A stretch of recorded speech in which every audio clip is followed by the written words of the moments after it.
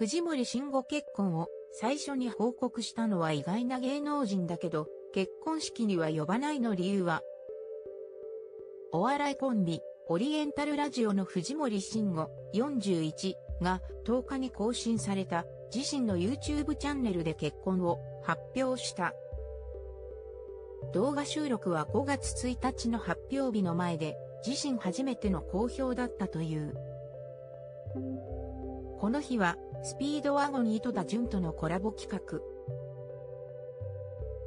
直前に収録した井戸田の YouTube チャンネルでは結婚についてはごまかしていたが、潤さんに僕も一つご報告がと切り出し、結婚しましたと担当直入に明かすと、井戸田は車内に響くほどの大声で絶叫し、おい、ふざけんなよ。さっき俺が結婚どうなの？とか聞いてたのに、マジで？と驚いた。藤森はこの動画公開の時には発表してますが、今日の時点ではまだ発表してないので、誰にも言わないでくださいね、と念押ししたが、無理かも、と、井戸田は笑いながらつぶやいた。収録日は4月25日だった模様で、発表したのが5月1日。すごいじゃん。おめでとうという糸田に、藤森は、こうやって YouTube とか誰かに伝えたのが、じゅんさんが初ですと明かし、なのに結婚式には呼ばないっていうねと笑った。実は、くしくも直前に収録した糸田の番組で、藤森が仮に結婚する場合、式に招待する芸人10人の名前を挙げたが、糸田は入らなかった。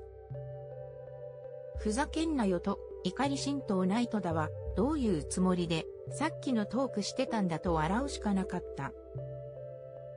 年下の一般女性と4月に結婚届を提出したという藤森は、結婚の決め手についてシンプルに夜話していて楽しいからと明かした。交際当初は結婚の意思がなかったというが、彼女にどんどん惹かれたという。ただ、結婚したいと思ったものの、なかなか切り出せない際に、彼女から41歳になってジタバタすんなよと言われ、それで決めました。彼女から、もしかして、まだ自分に可能性感じて、他にもっといい女いけるとか思っている？ジタバタすんな。とばっさり言われ、それで、すっきりしました。格好良かったし、痺れました。そんなこと言ってくれる女性はありがたいと感謝した。おめでとうと繰り返す糸田だが、本当に嘘？と最後まで信じきれない様子。